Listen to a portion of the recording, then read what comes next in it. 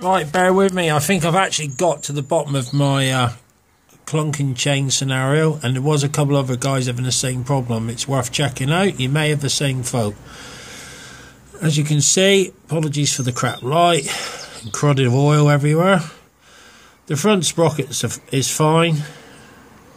Now, I get this clunking and I rotate the wheel. Hear that? There you go. And I rotate the wheel and I'm pushing on the chain. All I'm doing is doing that. I'm just pushing on the chain, which would simulate when the bike's off the stand and the chain comes tighter. Now, as I rotate the chain, if I push the sprocket, the, the chain, you get a clunk. This is the clunk I am getting. There you go. And again. And again. And on it goes. Now, when it clunks, this sprocket is moving like that, back and forth. So I'm hoping that the sprocket nut is a little bit loose.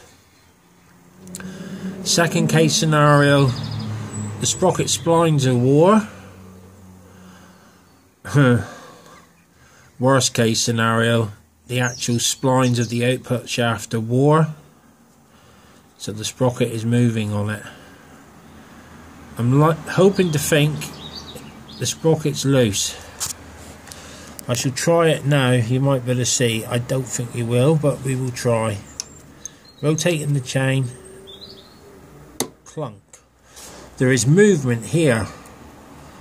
You can actually see the movement when the chain clunks.